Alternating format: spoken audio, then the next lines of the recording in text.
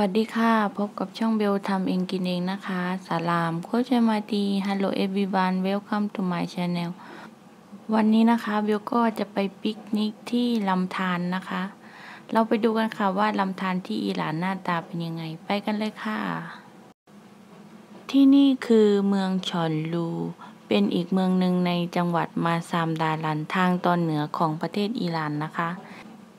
เมืองชอนลูเป็นเมืองที่รายล้อมไปด้วยภูเขาต้นไม้ลำธารนะคะ เป็นเมืองที่สวยมากแล้วก็บรรยากาศดีมากเลยค่ะวิวก็สวยมากด้วยนะคะ เบลก็มาที่นี่ครั้งแรกนะคะ แต่รู้สึกว่าชอบมากเลยค่ะ บรรยากาศดีมากเลยค่ะ ไม่อยากกลับบ้านเลยนะคะ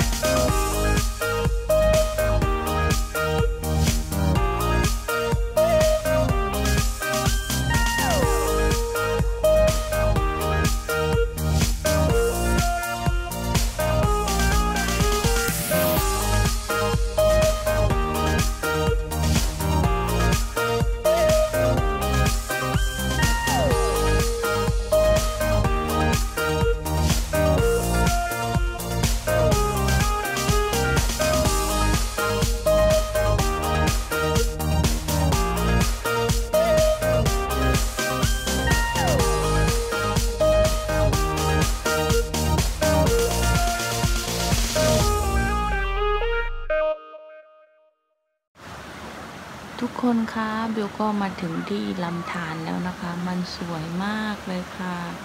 ดูน้ำสีไหลไปแบบนี้ เวลามองน้ำไหลแบบนี้มันรู้สึกว่าเราได้ปลดปล่อย เราได้รีแลกทุกอย่างที่มีความทุกข์ก็หายไปเลยนะคะ วันนี้เมนูที่เบลเลือกทานก็เมนูปิ้งย่างเหมือนเดิมนะคะ เคแบบเคบับไก่แล้วก็เคบับเนื้อค่ะ มาปิกนิกทีไรก็ไม่พ้นเมนูนี้หรอกค่ะ เป็นเมนูยอดนิยมนะคะ กินทีไรก็อร่อยทุกทีค่ะ เวลามาปิกนิกก็ขาดไม่ได้เลยค่ะเมนูนี้ มันอร่อยจริงๆนะคะ ทุกคน เบลเขียนสูตรไว้ให้ทุกคนด้วยนะคะ เบลจะแปะไว้ที่คอมเมนต์เนาะ ใครอยากทำก็ไปดูที่คอมเมนต์ได้เลยนะคะ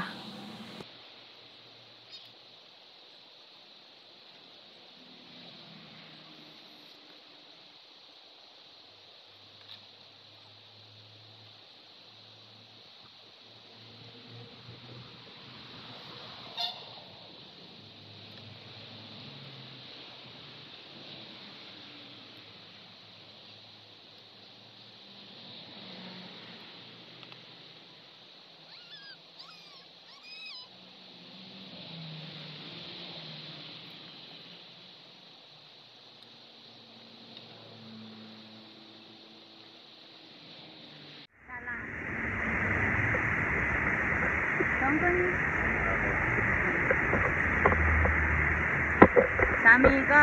ทำกับข้าวให้กินนะคะสามี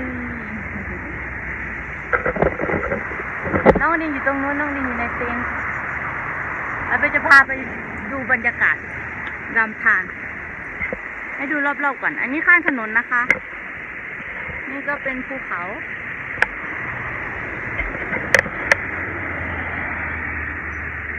นี่ก็จะเป็นลำธารยูนี่ก็มีลำธารงามงามบุนะน้ำแต่ว่าเล่นไม่ได้นะคะน้ำแรงมากเลย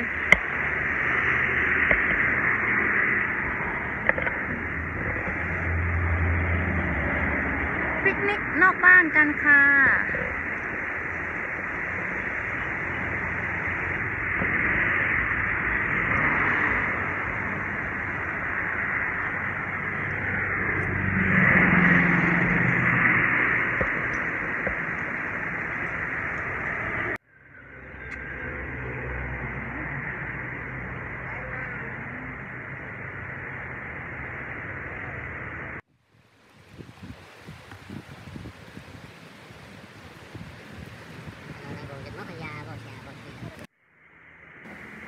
ทุกคนคะมากินข้าวด้วยกันค่ะ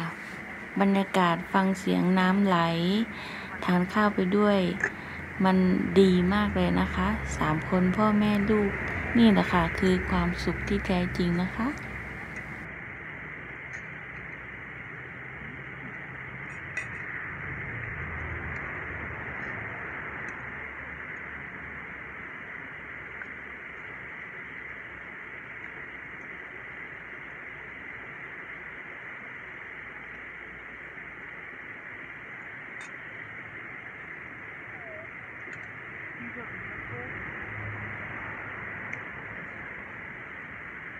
Yeah.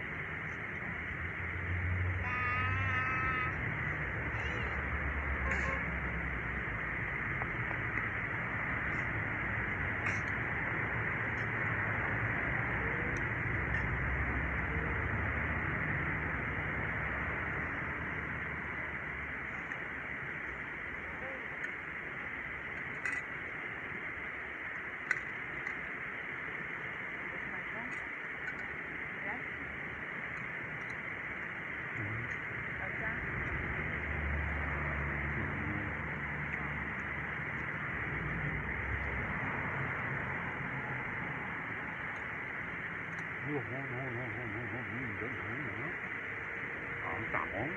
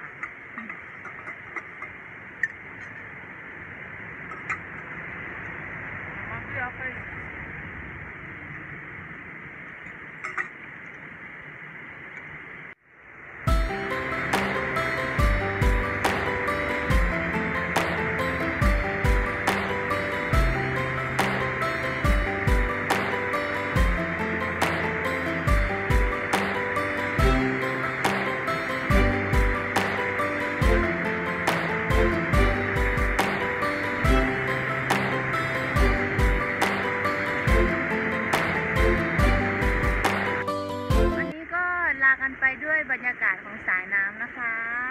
ไว้เจอกันใหม่ในคลิปหน้านะคะ ใครชอบคลิปก็อย่าลืมกดไลค์กดแชร์ กด subscribe กดกระดิ่งให้เบลด้วยนะคะ บ๊ายบาย สวัสดีค่ะ